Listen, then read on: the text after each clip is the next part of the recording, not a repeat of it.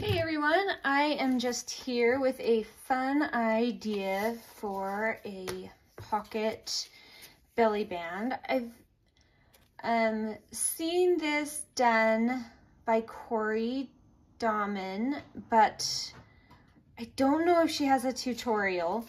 Um, so I just saw the finished product and thought, oh, I, I'll make up a way to do that. But it's probably exactly like hers. Um, but it's really just fun because what you're going to do is have a belly band, but you'll end up having a pocket on this side and then a pocket on this side as well. Um, so I'm going to go ahead and show you how to do that um, my way with my little twist. Um, so what I've done is I have here printed some different papers and ideas from the April subscription kit, but you could use any paper that you have. Um, this is this really kind of neutrally paper. It's really beautiful. And I have cut this, I wrote it down for you. I've cut this to six by seven inches. And then I scored it at two inches and four inches. And went ahead and folded that like so. Now for me, I just sewed around this front rectangle and inked that. The rest of this is going to be invisible and you will not see it. So I just went ahead and sewed around that and inked it. You can't sew after or you'll sew your pockets shut. So you just need to sew first if you're going to do that. All right, so I'm gonna go ahead and glue just along the top and the bottom of that belly band. And when I go ahead and put this into my journal, which obviously if your journal is a different size, you're gonna wanna make it a different height. So you can just adjust according to your journal. And now I need to sew this one shut as well, creating a pocket over on this side. Just like that. All right. Now we have the basis of our belly band. Now in the kit, there are these cute little squares that are, and it shows you a diagram of how to turn them into just mini little envelopes. Super fun super easy, but I can tell you these squares are four by four. Um, so that's the size that I'm working with. I double printed this, so I have the same as this one on the back of my envelopes because I just wanted it to be cute on the inside of the envelope. And then the mini envelopes come in all different patterns. So I'm gonna show you how to make one of these mini envelopes with a square, a four by four square. All right, so you want to find the center of your paper. So just go from corner to corner and kind of mark it. And then come and go the opposite way. And where those two lines intersect, that is your dead center. So then if you want, you can erase the other stuff just in case you don't want to see it later. So once you have your dead center marked, let's see, I don't think it matters which way. So bring in one corner and bring in the other corner. And we're just gonna make tiny envelopes to be tucked into our pockets. Now, you're gonna take this up and you're not just gonna take it to where that meets here because then you won't have anything to attach your flap to. So you're gonna bring it up just a little further. Personal preference is fine. Go with what you like bring that up and you can use a bone folder or your fingernail or whatever. And then the same on the top, you're gonna wanna bring that down until it comes a little past there. So it's gonna cover that crease. So you'll see up here, you have something a little, I'll show you, a little bit of a straight piece right there, if that makes sense. Now, what will make this look like an envelope if you really want, which you don't have to do, is to go ahead and corner round the top and the bottom. I like to do it because it just makes it look like, oh my heck, they have a little mini envelope, not a square folded like a square. Does that make sense? I didn't do so great, but that's okay. All right, and now I'm just gonna go ahead and ink on the inside too, because that's gonna be my flap. So I did all the other three off camera so you don't have to watch me ink for days. But you're gonna get to watch at least one being completely made. So you get to watch the inking of it too. Um, and then we'll decide which way we want to be the top of our, we want this to be the top. It doesn't matter, it's just personal preference. So that's how I decided that.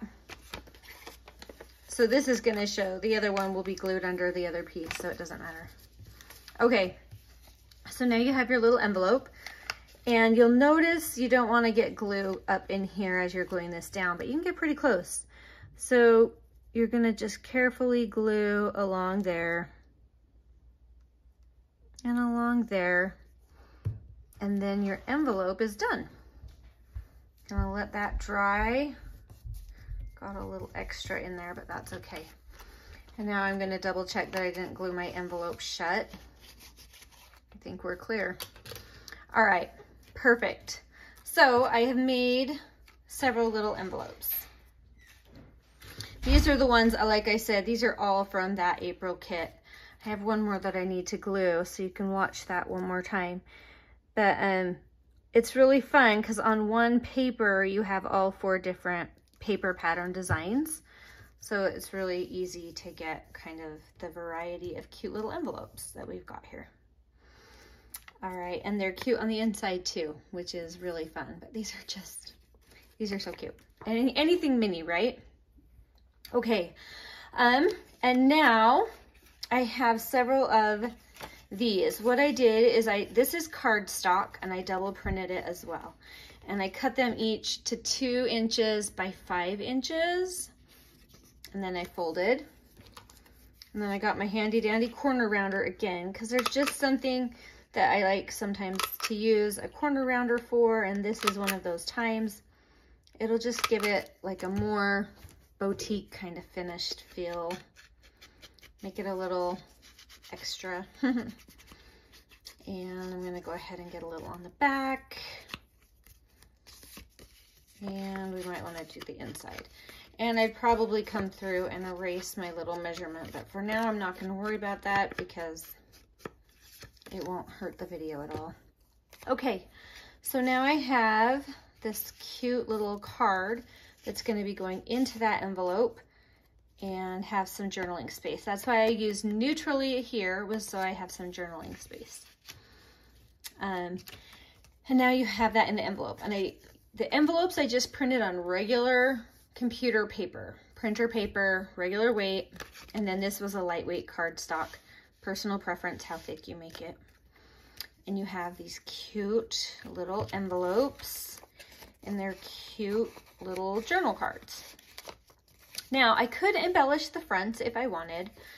Um, I think there's enough here that I'm not going to, but here's what's gonna happen. You're gonna glue this into, let me get like a sample page here. Pretend this is your journal. And you're gonna glue it up top and up bottom. You will be able to tuck something behind the whole thing. And then you'll be able to tuck something in this pocket here. And you'll be able to tuck something in this pocket over here. And it's kind of this fun little you could even tuck them this way if you wanted, just whatever you want. And you can stagger them or whatever you want. And now I'm gonna just do a quick embellishment on the front because why not? So I have some lace, just a cotton lace, and I'm gonna go ahead and put a fair amount of my art glitter glue down. Hold that in place. And I have this fun little bird, a fussy cut bird from the April kit as well. And I think I'm just gonna center that beauty. So let me make sure where I don't, I can get glue on almost everything. Probably not these two far ends. But we wanna secure that pretty well, so, because it's going over lace. Okay, try to get that spread out a little more. And we'll glue our beautiful songbird down. it's just so happy. It's sunny today here and it's just been so nice. It's crazy to think like a week ago we had 21 inches of snow and now we have green lawn. It is the strangest thing I've ever seen with that type of weather this type of year. Now this is in that kit as well. It comes on a little tag. I just cut the tag away because I just wanted the little word. But it'd be kind of cute. You could hang the little tag down from the bird or whatever, but I just wanted the tiny word. So, all right. So there you have it, like a hidden pocket little belly band there and that you can do with the April kit. Really easy, really fun. Um, I love that effect. It, I mean, that will just look beautiful on a page. So anyway, there you go. I hope you are having fun with your crafting and um, really enjoying that creative process. Anyway, thank you guys. Thank you for watching. Thanks for supporting. It, it truly does mean a lot. So anyway, we will talk to you later. Bye.